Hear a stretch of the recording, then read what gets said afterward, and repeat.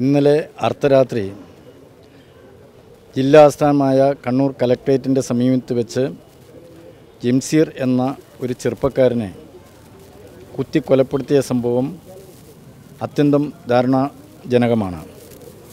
കണ്ണൂർ പട്ടണത്തിൽ വർദ്ധിച്ചു വരുന്ന മയക്കുമരുന്നും കഞ്ചാവിന്റെയും അധിക ഉപയോഗം കൊണ്ടാണ് ഇത്തരത്തിലുള്ള കൊലപാതകം വീണ്ടും വീണ്ടും ആവർത്തിക്കപ്പെടുന്നത്. പോലീസ് നിഷ്പക്ഷമായി അന്വേഷണം നടത്തി. കുറ്റക്കാർക്കെതിരെ മാതൃകാപരമായ തക് ശക്തമായ ശിക്ഷാ നടപടികൾ നൽകിയില്ലെങ്കിൽ കണ്ണൂർ ഒരു കലാപഭൂമിയായി തീരും.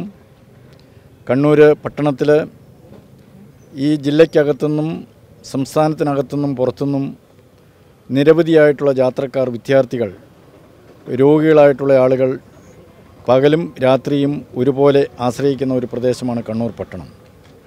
ആ കണ്ണൂർ പട്ടണത്തിൽ ഭയം കൂടാതെ കുട്ടികൾക്കും സ്ത്രീകൾക്കും ചെറുപ്പക്കാർക്കും വയസ്സായവർക്കും ഇറങ്ങി നടക്കാൻ കഴിയാത്ത വിധത്തിലുള്ള ഏറ്റവും വേദനാജനകമായ സാഹചര്യമാണ് ഇവിടെ സംജാതമായിരിക്കുന്നത്.